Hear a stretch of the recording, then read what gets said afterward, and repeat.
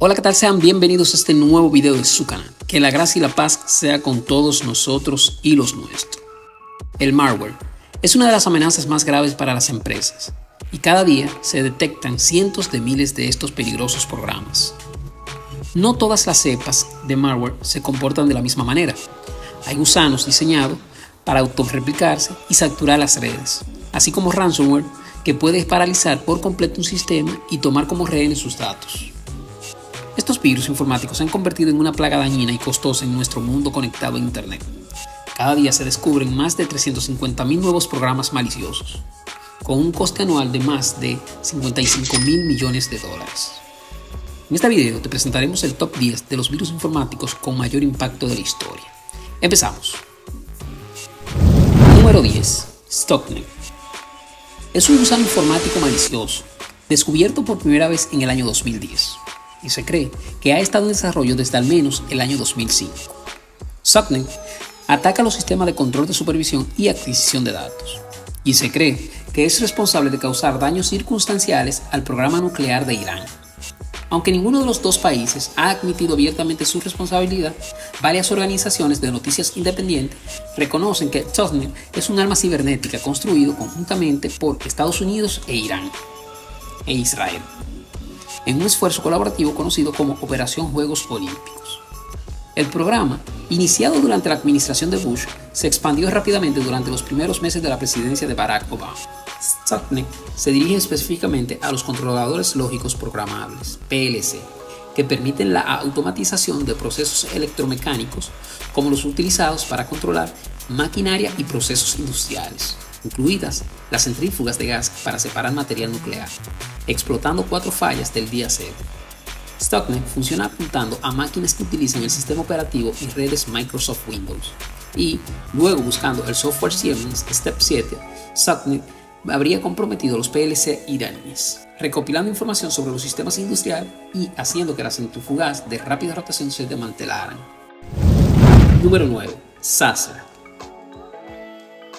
es un gusano informático que afecta a los equipos que ejecutan versiones vulnerables de los sistemas operativos Microsoft Windows XP y Windows 2000.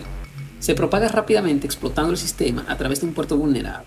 Por lo tanto, es particularmente virulento en el sentido de que puede propagarse sin la intervención del usuario. Pero también se detiene fácilmente mediante un firewall configurado correctamente o descargando actualizaciones del sistema desde Windows Update. Fue creado el 30 de abril del año 2004 este gusano recibió el nombre de Sasser porque se propaga explotando un desbordamiento de buffer en el componente conocido como LSASS, Local Security Authority Subsystem Service. En los sistemas operativos afectados, fue creado el 30 de abril del año 2004. Este gusano recibió el nombre de Sasser porque se propaga explotando un desbordamiento de buffer en el componente conocido como LSASS. Local Security Authority Subsystem Service en los sistemas operativos afectados. Una vez en una máquina, el gusano escanea diferentes rangos de direcciones IP y se conecta a las computadoras de la víctima, principalmente a través del puerto TCP445. Si se encuentra una instalación vulnerable de equipo 2000, el gusano utiliza su propio servidor FTP alojado en máquinas previamente infectadas para descargarse en el host recientemente comprometido. El 7 de mayo del año 2004, un alemán de 18 años, llamado Sven Jaschen, de Rothenburg, Baja Sajonia, que en aquel entonces estudiaba en una escuela técnica, fue arrestado por crear el gusano. Las autoridades alemanas llegaron a Jaschen en parte gracias a la información obtenida en respuesta a una oferta de recompensa de 250 mil dólares estadounidenses de Microsoft. Uno de los amigos de Jaschen había informado a Microsoft que su amigo había creado el gusano. Además, reveló que no solo SAS, sino también Netscape AC, una variante del gusano Netscape, eran su creación. Poco después del arresto, se descubrió que circulaba otra variante de Sacer, la Sacer E. Era la única variante que intentaba eliminar otros gusanos del ordenador infectado, de forma muy similar a como lo hace Netscape. Yashan fue juzgado como menor de edad, ya que los tribunales alemanes determinaron que había creado el gusano antes de cumplir los 18 años el 29 de abril del 2004. Sven Jashan fue declarado culpable de sabotaje informático y alteración ilegal de datos. El viernes 8 de julio de 2005 recibió una sentencia condicional de 21 meses. Número 8. Code. Fue un gusano informático detectado en Internet el 15 de julio del año 2001.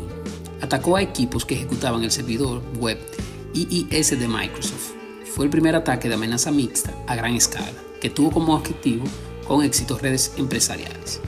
El gusano Code fue descubierto e investigado por primera vez por los empleados de iDigital Security Mark Mayflet y Ryan Permich. Aunque el gusano había sido liberado el 13 de julio, el mayor grupo de computadoras infectadas fue visto el 19 de julio de 2001. Ese día, el número de hosts infectados alcanzó los 359.000. El gusano se propagó por todo el mundo, volviéndose particularmente frecuente en América del Norte, Europa y Asia. El gusano se propagó utilizando un tipo común de vulnerabilidad conocida como desbordamiento de buffer. Lo hizo utilizando una larga cadena de la letra N, repetida para desbordar un buffer lo que le permitió ejecutar código arbitrario e infectar la máquina con el gusano. Ken Eichmann fue el primero en descubrir cómo bloquearlo y fue invitado a la Casa Blanca para su descubrimiento. Número 7. Zeus. Es un paquete de malware troyano que se ejecuta en versiones de Microsoft Windows. A menudo se utiliza para robar información bancaria mediante el registro de pulsaciones de teclas y la captura de formularios. Zeus se propaga principalmente a través de descargas automáticas y esquema de phishing, identificado por primera vez en julio del 2007 cuando se utilizó para robar información del Departamento de Transporte de los Estados Unidos. Se generalizó en marzo de 2009. Zeus también se ha utilizado para engañar a las víctimas de estafas de soporte técnicos para que den dinero a los estafadores a través de mensajes emergentes que afirman que el usuario tiene un virus, cuando en realidad podría no tener ningún virus. Los estafadores pueden utilizar programas como el símbolo del sistema o el visor de eventos para hacer creer al usuario que su computadora está infectada. Zeus es muy difícil de detectar, incluso con antivirus actualizados y otros software de seguridad, ya que se oculta mediante técnicas de sigilo. Se considera que esta es la razón principal por la que el malware Zeus se ha convertido en la red de bots más grande del Internet. Dambara estimó que el malware infectó 3,6 millones de PC en los Estados Unidos en el año 2009. Número 6. Melissa es un macrovirus de correo masivo que se lanzó el 26 de marzo de 1999 o alrededor de esa fecha. Su objetivo son los sistemas basados en Microsoft Word y Outlook y generó un tráfico de red considerable. El virus infecta a los equipos a través del correo electrónico. El correo electrónico se titula Mensaje importante de, seguido del nombre del usuario actual. Al hacer clic en el mensaje, el cuerpo del mensaje dice, aquí está el documento que pidió, no se lo muestra a nadie más se adjunta un documento de Word titulado list.doc, que contiene una lista de sitios pornográficos y los datos de inicio de sesión correspondientes. Luego se envía por correo masivo a las primeras 50 personas de la lista de los contactos del usuario y desactiva varias funciones de protección en Microsoft Word y Microsoft Outlook.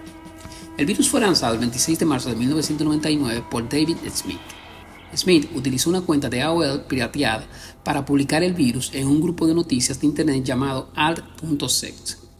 Al comparar los documentos de Microsoft Word con el mismo identificador único global, este método también se utilizó para rastrear el virus hasta Smith. El virus ralentizó los sistemas de correo electrónico debido a la sobrecarga de los servidores Microsoft Outlook y Microsoft Exchange, con mensajes de correo electrónico. Las principales organizaciones afectadas incluyeron a Microsoft Intercorp y el Cuerpo de Marines de los Estados Unidos. El 1 de abril de 1999, Smith fue arrestado en Nueva Jersey debido a un aviso de AOL y un esfuerzo conjunto entre el FBI, la Policía Estatal de Nueva Jersey y Naumont Internet, un informático sueco y otros. Smith fue acusado de causar daños por valor de 80 millones de dólares estadounidenses al irrumpir el funcionamiento de ordenadores personales y redes informáticas en empresas y gobiernos. El 10 de diciembre de 1999, Smith se declaró culpable de un cargo de segundo grado de robo de computadora y de un cargo federal de dañar un programa de computadora debido a la liberación del virus. El 1 de mayo de 2002 fue sentenciado a 20 meses de prisión federal y a pagar una multa de 5 mil dólares estadounidenses. Número 5. WannaCry. El ataque de ransomware WannaCry fue un ciberataque mundial en mayo del año 2007 por el criptogusano ransomware WannaCry que atacó computadoras que ejecutaban el sistema operativo Microsoft Windows, cifrando datos y exigiendo pagos de rescate en la criptomoneda Bitcoin. Se propagó mediante Eternal Blue, un exploit desarrollado por la Agencia de Seguridad Nacional de los Estados Unidos. para sistemas Windows, Blue fue robado y filtrado por un grupo llamado The Shadows Brokers, un mes antes del ataque. Si bien Microsoft había lanzado parches previamente para cerrar el exploit, gran parte de la propagación de WannaCry fue de organizaciones que no los habían aplicado o que usaban sistemas Windows más antiguos, que habían pasado el final de su vida útil. Estos parches eran imperativos para la seguridad cibernética, pero muchas organizaciones no lo aplicaron, citando la necesidad de operación 24 horas al día, 7 días a la semana. El riesgo de que las aplicaciones que antes funcionaban se rompieran debido a los cambios, la falta de personal o tiempo para instalarlo u otras razones. El ataque comenzó a las 7.44 de la mañana del 12 de mayo de 2017 y fue detenido unas horas más tarde a las 3.03 pm por el registro de un interruptor de seguridad descubierto por Marcus Hutchins. El interruptor de seguridad impidió que las computadoras ya infectadas se cifraran o propagaran aún más WannaCry. Se estimó que el ataque afectó a más de 300.000 computadoras en 150 países, con daños totales que oscilaron entre cientos de millones y miles de millones de dólares. En diciembre del año 2017, Estados Unidos y Reino Unido afirmaron formalmente que Corea del Norte estaba detrás del ataque, aunque Corea del Norte ha negado cualquier participación en el ataque. El 18 de diciembre del año 2017, el gobierno de los Estados Unidos anunció formalmente que considera públicamente a Corea del Norte como el principal culpable del ataque WannaCry. Número 4. Configure. Es un gusano informático que ataca el sistema operativo Microsoft Windows y que fue detectado por primera vez en noviembre de 2008. Utiliza fallas en el software del sistema operativo Windows y ataques a los diccionarios en la contraseña del administrador para propagarse mientras forma una botnet. Y ha sido inusualmente difícil de contrarrestar debido a su uso combinado de muchas técnicas avanzadas de malware. El gusano Configure infectó millones de computadoras, incluidas computadoras gubernamentales, comerciales y domésticas, en más de 190 países lo que lo convierte en la infección de gusano informático más grande conocida desde el gusano SQL Slammer de 2003. A pesar de su amplia propagación, el gusano no causó mucho daño, tal vez porque sus autores, que se cree eran ciudadanos ucranianos, no se atrevieron a usarlo debido a la atención que atraía.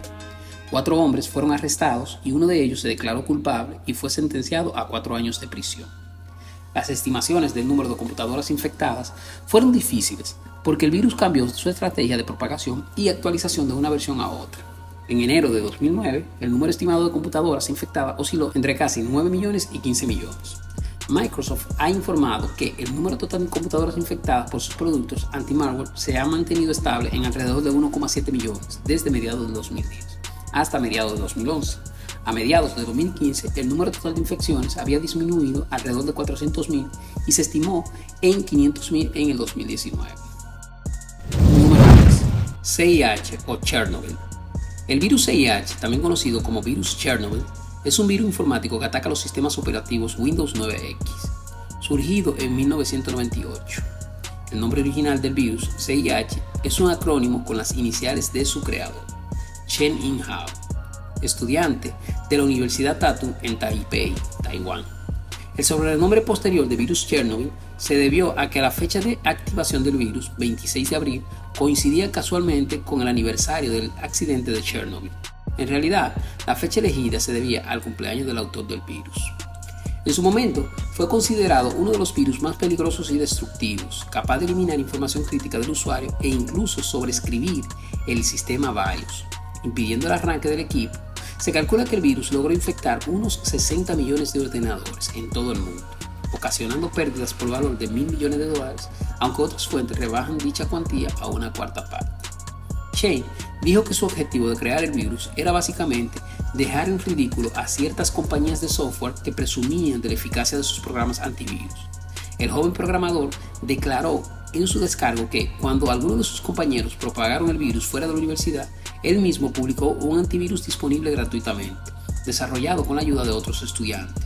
Por aquel entonces, los fiscales taiwaneses no pudieron imputar a Chen ningún delito, debido a que las víctimas no presentaron cargos contra él. Estos hechos propiciaron que más adelante se aprobase una nueva legislación sobre delitos informáticos en Taiwán. Por su parte, Shen trabajó para la compañía taiwanesa Gigabyte como programador senior, hasta que fundó su propia empresa llamada CIH. Número 2. MyToon era un gusano informático que atacaba a los ordenadores que ejecutaban Microsoft Windows. Fue visto por primera vez el 26 de enero del año 2004. Se convirtió en el gusano de correo electrónico de más rápida propagación de la historia, superando los récords anteriores establecidos por el gusano Soviet y I Love You, un récord que a la fecha del 2024 aún no ha sido superado. Al parecer, Maidon fue creado por spammers de correo electrónicos para enviar correo basura a través de equipos infectados. El gusano contiene el mensaje de texto: Andy, solo estoy haciendo mi trabajo, nada personal, lo siento. Lo que llevó a muchos a creer que el creador del gusano recibió un pago. Al principio, varias empresas de seguridad expresaron su creencia en que el gusano se originó a partir de un programador en Rusia. Se desconoce el autor real del gusano. El gusano parecía ser un correo electrónico mal enviado y la mayoría de las personas que lo recibieron lo ignoraron, pensando que era correo azul. Sin embargo, finalmente se propagó e infectó a al menos 500.000 computadores en todo el mundo. Los primeros rumores especulativos sostenían que el único propósito del gusano era perpetrar un ataque distribuido de denegación de servicio contra SCO Group. El 25% de los hosts infectados con MyDoom atacaron a SCO Group con una inundación de tráfico. La prensa especializada, impulsada por las propias afirmaciones de SCO Group, sostenía que esto significaba que el gusano había sido creado por un partidario de Linux o de código abierto en represalia de las controvertidas acciones legales y declaraciones públicas de SCO Group contra Linux. Esta teoría fue rechazada inmediatamente por los investigadores de seguridad. Número 1. I Love You fue un gusano informático que infectó a más de 10 millones de ordenadores personales con Windows a partir del 5 de mayo del año 2000. Comenzó a propagarse como un mensaje de correo electrónico con el asunto I love you y el archivo adjunto loveletterforyou.txt.vps. En ese momento, los ordenadores con Windows solían ocultar la última extensión de los archivos. VPS, un tipo de archivo interpretado de forma predeterminada porque es una extensión para un tipo de archivo que Windows conoce, lo que lleva a los usuarios involuntarios a pensar que era un archivo texto normal. Al abrir el archivo junto se activa el script de Visual Basic. Primero, el gusano inflige daño en la máquina local, sobreescribiendo archivos aleatorios.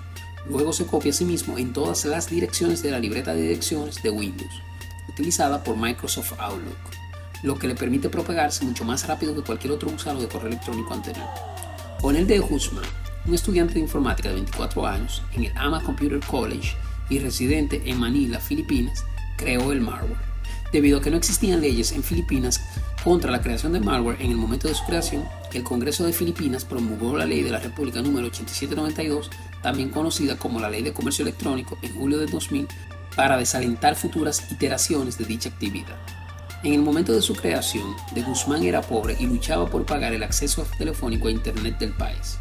De Guzmán creía que el acceso a Internet era un derecho humano y presentó una tesis de licenciatura a la universidad en la que proponía el desarrollo de un troyano para robar los datos de acceso a Internet.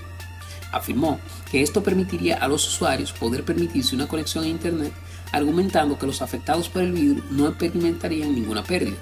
La propuesta fue rechazada por la universidad, que señaló que su propuesta era ilegal y que ellos no producían ladrones. Esto llevó a De Guzmán a afirmar que sus profesores eran de mente cerrada y, finalmente, abandonó la universidad y comenzó a desarrollar el gusano. De Guzmán diseñó originalmente el gusano para que solo funcionara en Manila, pero por curiosidad eliminó esta restricción geográfica, lo que permitió que el gusano se propagara por todo el mundo. De Guzmán no esperaba esta propagación mundial. El gusano se originó en el barrio Pandacan de Manila, Filipinas, el 4 de mayo del año 2000 y luego se trasladó hacia el oeste a través de los sistemas de correo electrónico corporativos cuando los empleados comenzaban su jornada laboral. Debido a que el gusano utilizaba lista de correo como su fuente de objetivos, los mensajes a menudo parecían provenir de conocidos y por lo tanto sus víctimas lo consideraban seguros, lo que proporcionaba un incentivo adicional para abrirlos. Solo unos pocos usuarios en cada sitio tenían que acceder al archivo adjunto para generar millones de mensajes que paralizaban los sistemas de correo y sobreescribían millones de archivos en las computadoras de cada red sucesiva. Se estima que el brote causó entre 5.500 y 8.700 millones de dólares en daños en todo el mundo, y se calcula que su eliminación costó entre 10.000 y 15.000 millones de dólares. En 10 días se habían notificado más de 50 millones de infecciones y se estima que el 10% de los ordenadores conectados a Internet del mundo se habían visto infectados.